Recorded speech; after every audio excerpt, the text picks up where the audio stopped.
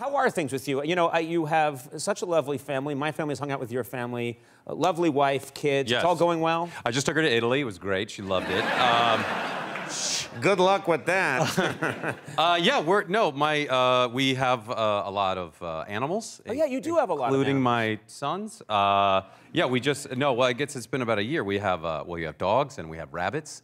And You have rabbits? I have a lot. Uh, yeah, uh, we have. Uh, that, is that relatively new? I don't think I've seen rabbits. This is uh, eight to nine months old, Yeah. and Okay. I they we got them, and the boys loved them, uh, and then we noticed one of them had uh, was gr- having some scabs on its side. I know, and I was like, oh no, it's off. So I took the poor rabbit to the vet, and the vet vet goes, yeah, I've seen this before, and if I'm right, and he turns it over, yeah, the other rabbit ate its balls off.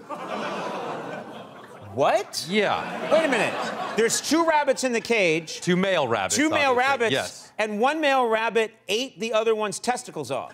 You are saying this like it's a surprising thing. Yes, that's what, yes, it's terrifying. Why did the male rabbit do that to the other? Were, were- they? Was it an accident? Were they engaging in some fun? And then uh, What, that, would what understand that. accident have you ever heard of where someone accidentally bites someone's balls off? I knew a guy in college. Oh. Harvard. So, uh,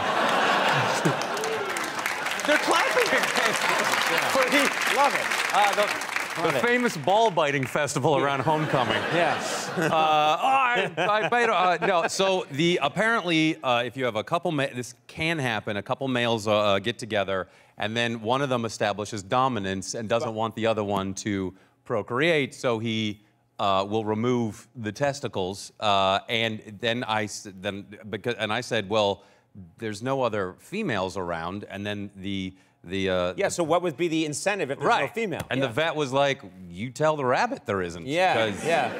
They don't care. Yeah. just in case. Just in case any female ever shows up in their tiny cage. Yeah. He's. This is a proactive ball-eating rabbit. right.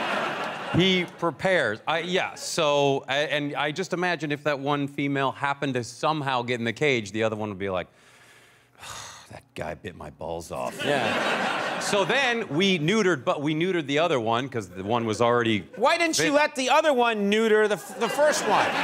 That should be fit. Yes. oh. Oh. Suddenly I'm getting applause. They're, they're, they're cheering for a rabbit to mutilate another rabbit Yes. in retaliation Yes. for Yeah. mutilating Yes. a They're rabbit. just cheering for revenge. Yeah. The concept of revenge. How, how? It's This just is a crowd that understands the concept of revenge in the rabbit kingdom.